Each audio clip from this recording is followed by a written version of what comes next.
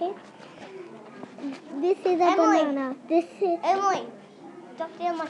this is a banana. This is an apple. This is a right? This is a grape. This is a watermelon. This is a grape. Um, this is a banana. This is a banana. This is a watermelon.